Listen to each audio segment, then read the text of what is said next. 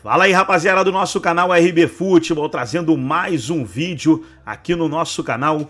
E nesse vídeo aí para debater as novas contratações do Bahia. Bahia fechou com Caio Alexandre e ainda ontem fechou com o lateral esquerdo Iag, Iago Bortuque. É, novo reforço aí do tricolor baiano. O Bahia se reforçando muito nessa janela de transferências e prometendo um time forte aí para brigar nos campeonatos principais na temporada 2024. Antes de soltar o vídeo, quero convidar você que ainda não é inscrito no nosso canal, se inscreva, ative o sininho das notificações para você não perder nada. Tudo do Bahia e dos grandes clubes do futebol brasileiro você encontra aqui no nosso canal RB Futebol. Então vamos aí para o debate, vamos para o vídeo e daqui a pouco nós estaremos de volta.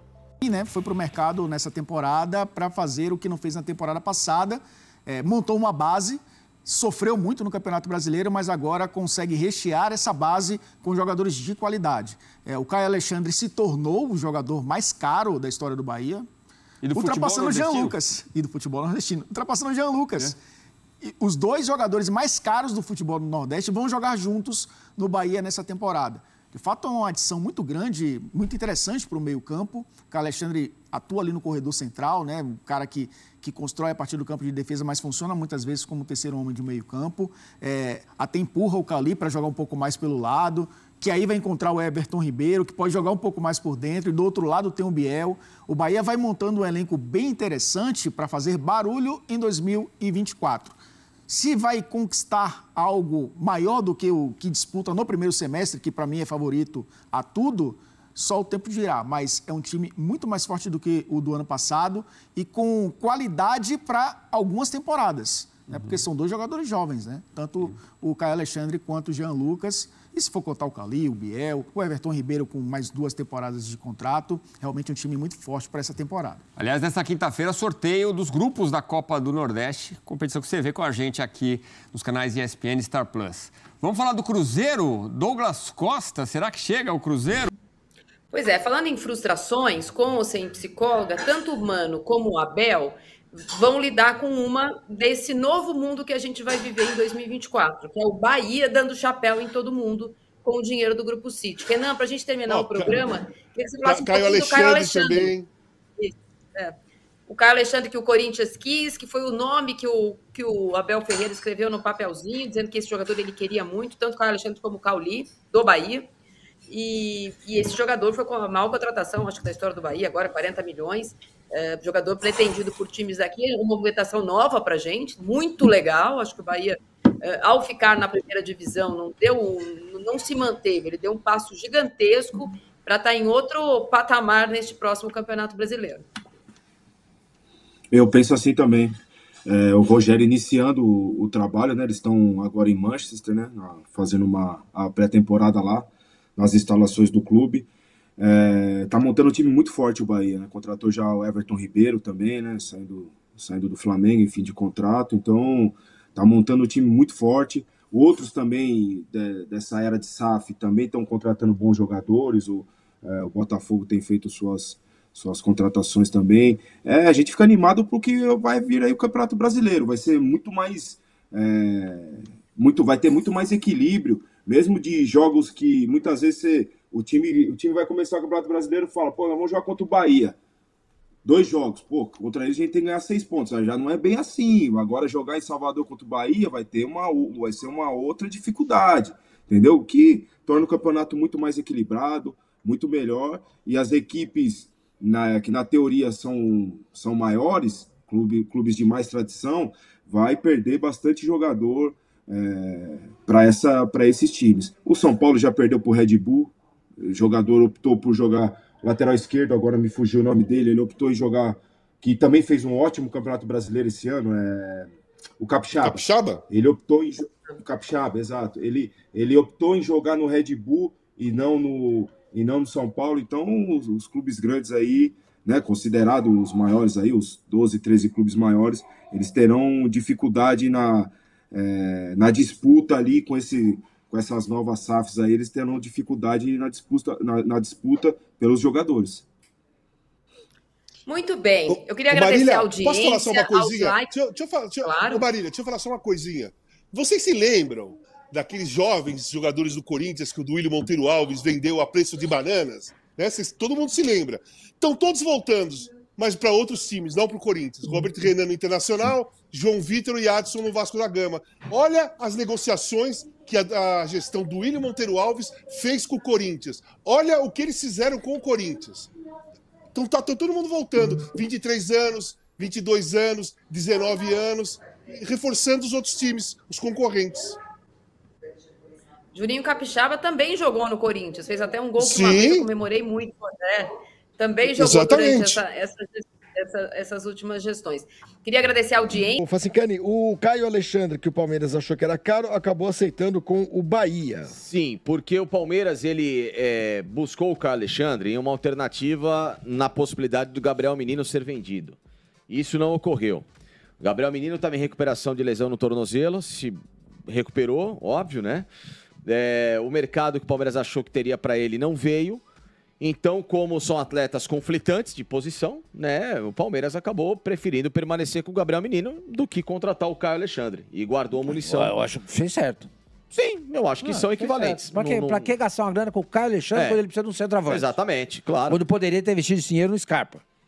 Entendeu? Sim, também Escalhe o meio-campo do Bahia aí, do Bahia City. É, Caio Alexandre, Jean Lucas, Cauli e Everton Ribeiro. Oh, é um bom negócio. Olha. Precisa arrumar a defesa. É bom lembrar o que o grupo City, antes de ir pro Bahia, foi em Santos. E aí o que aconteceu? o Rueda falou não. Não. Não quero entrar para a história como o presidente que transformou o Santos numa SAF. Só que ele entrou de outro jeito para Ele entrou para a história como o, o, o presidente que rebaixou o Santos. Exatamente. Você sabe que o, as coisas a gente olha vai olhar né? em perspectiva no futuro. Nós, nós paramos de é falar de patrocínio. Pode? Eu só queria fazer um link pode rápido. Falar. Depois o Sormani pode, né? Porque, porque tem tá... o negócio do Santos. É, então. É... Bora falar sobre Caio Alexandre, informação oficial. Fortaleza deu detalhes do acordo entre Caio Alexandre e Bahia. Negócio de 5 milhões de dólares ou 24 milhões e 300 mil reais. Fortaleza fica com 60% desse valor ou 14 milhões e 600 mil. O restante será pago para o Vancouver Whitecaps. Só para lembrar, o Caio Alexandre já está liberado para realização de exames médicos no Bahia. Assim que tiver tudo registrado, ele assina um contrato e se torna de maneira oficial jogador do tricolor de aço. Bahia que vai ter um meio-campo com Jean Lucas, Caio Alexandre, Cauli e Everton Ribeiro. Tá bom para você? Bora falar agora. Passando para o Bahia, uma notícia importantíssima para o Bahia. Superou Palmeiras e, e Corinthians e contratou o volante Alexandre, de 24 anos, que se tornou o jogador mais caro da história do clube. E ele já chega para essa pré-temporada do Bahia em Manchester. Os valores não foram divulgados ainda, né, Hernan? Mas o Fortaleza tem 50% dos direitos, o Botafogo 40% e o Vancouver Whitecaps do Canadá tem 10%. Foi melhor para quem esse negócio? Para o Bahia, para o Fortaleza ou para o Botafogo? Uh, grande negócio do Bahia, porque o Caio Alexandre é um baita de um jogador que foi muito bem na última temporada. É, o Caio Alexandre, o, o, Fortaleza já vinha conversando com o Vancouver para comprar o Caio Alexandre, exerceu a, a, opção de compra antes da final da Sul-Americana. É, então a ideia era essa. Só que no futebol, eu ouço muito isso de dirigente e de empresário. No futebol, quem dá a palavra é o jogador. Quem assina é o jogador, quem, se o jogador não quiser assinar, não assina. O Caio Alexandre teve propostas do, do Palmeiras, né? O Corinthians também sinalizou com interesse e o Bahia veio forte. É, o, o, pelo que eu sei, o Palmeiras, quando percebeu que poderia ter qualquer tipo de disputa ou leilão, pulou fora. Saiu. Caiu fora Exatamente. da negociação. E aí o Bahia, entre Bahia e Corinthians, o Corinthians também está bastante agressivo no mercado. O presidente Augusto Melo está bastante agressivo, agressivo junto com o Rubão no mercado. Só que o Bahia acabou sendo o projeto que seduziu o Caio Alexandre. O projeto de você ter um City por trás, de você. É, a pré-temporada está sendo lá junto com o time do Guardiola, tem uma expectativa enorme. É, e mesmo com jogadores da mesma posição sendo contratados tão bons quanto. Então, assim, o projeto do Bahia, uh, o Rogério, que é, que é muito importante nessa questão, foi lá e conseguiu é, é, ter a preferência do jogador. Então, o Caio Alexandre optou pelo Bahia, optou pelo projeto Bahia e acabou é, é, fechando. Só, só, um detalhe aqui que é importante contar. Eu, eu, eu, eu, contei a história da maior transferência da história do futebol do Nordeste entre dois times do Nordeste e da maior compra da história do Bahia, 5 milhões de dólares. Se tava, tava no, na versão original estava 7 no meu texto, mas são 5 milhões de dólares, 24,3 milhões de reais. Ah, o que aconteceu? O Bahia, desde o início lá atrás de, outubro, já tinha efetivado a primeira parcela da compra em definitivo do Caio Alexandre. Seria feito pelo contrato de empréstimo, seriam três parcelas e o, e o Fortaleza pagou a primeira parcela. Pagou a primeira parcela. A partir desse momento, a negociação não era mais com Vancouver, era com Fortaleza, porque o Fortaleza tinha efetivado. O Palmeiras demonstrou interesse em outubro pelo Caio Alexandre. E os empresários do jogador entenderam que haveria uma proposta oficial. O Palmeiras perguntou ao Fortaleza qual era o valor, e o valor era 5 milhões de dólares. E o Palmeiras recuou. O Palmeiras não fez uma proposta oficial para o Fortaleza.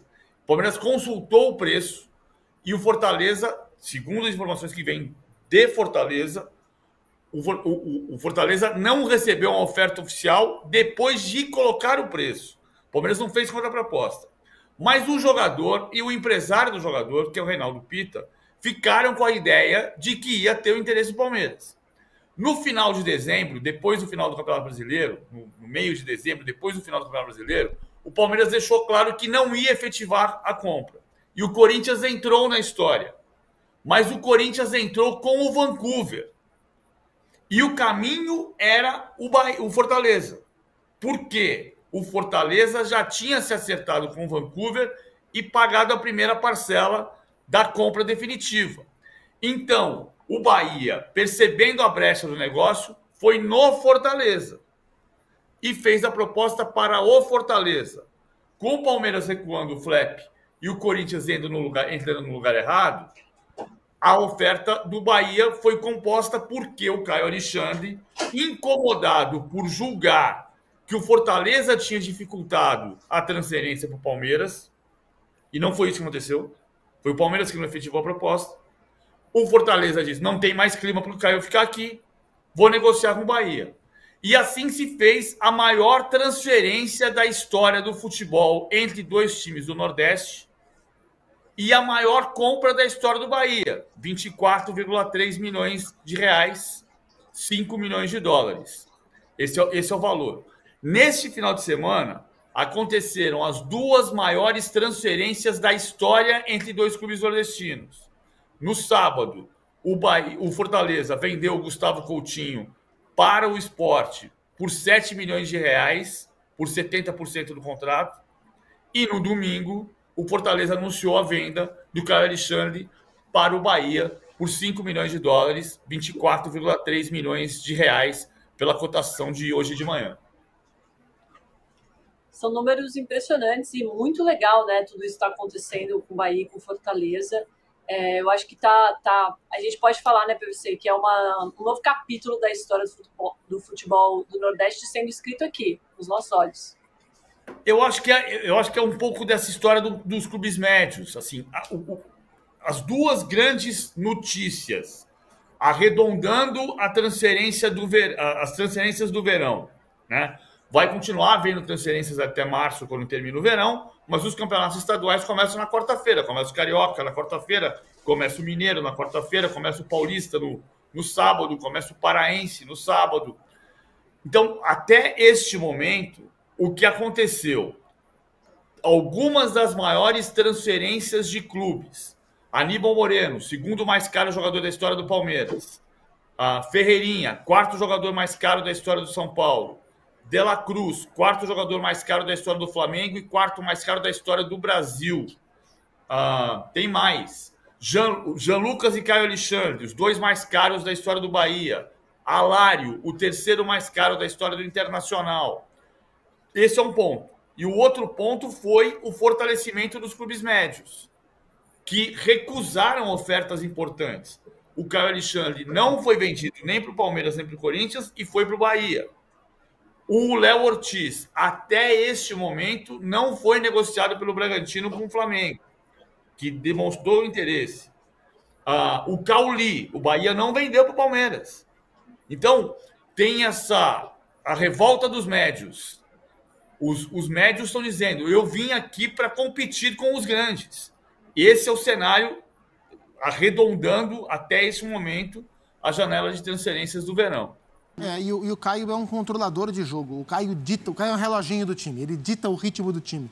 Acho que o Rogério vai fazer bom uso. A gente pode ter dúvidas sobre como um ou outro vai ser aproveitado. Estava até batendo um papo hoje com o nosso grande Elton Serra, que felizmente ah. está aqui conosco esta semana. O Cauli pode jogar um pouco mais à frente, Rezende pode ser volante, pode ser um terceiro zagueiro. É, o Caio Alexandre e o Everton Ribeiro vão jogar. Vão jogar. Jean Lucas vai jogar? Talvez. Esse que eu tenho dúvida Rezende também. vai jogar? Talvez. Aonde o Cauli vai jogar? Para frente ou no meio? Não sei. O Caio e o Everton Ribeiro vão jogar. E, e esse meio-campo é um dos mais técnicos técnicos do Brasil. Ah. Né? É muita qualidade técnica junta. Coloca um top 5 aí. Tranquilamente. Pra... Tranquilamente? Tranquilamente. Já vi que é top 3, então. De, de ponto de vista técnico, qualidade técnica, possivelmente sim. É uma, Vamos é fazer um... esse touch, viu, depois. Vamos. Vamos fazer esse touch de meio campo do Brasil. Baita mercado legal que o Bahia fez. Legal para o projeto, legal para o time, legal para o Rogério, para a autoestima do torcedor, para o futebol do Nordeste. Vai ser muito interessante ver o Bahia. Copa do Nordeste, passa aqui, então a gente vai ver o Bahia de pertinho. Muito bem, bora Bahia! Vamos seguir o Sport Center e tem muito mais a seguir. Então tá aí, pessoal, foi o vídeo aí. Todos os créditos, direitos autorais e agradecimentos estarei deixando o link na descrição desse vídeo onde trouxemos aí alguns cortes aí de vários programas trazendo as notícias do Bahia. Gostou do vídeo? Deixa o seu like, se inscreva no canal, ative o sininho das notificações. Forte abraço a todos e até o nosso próximo vídeo aqui no nosso canal RB Futebol.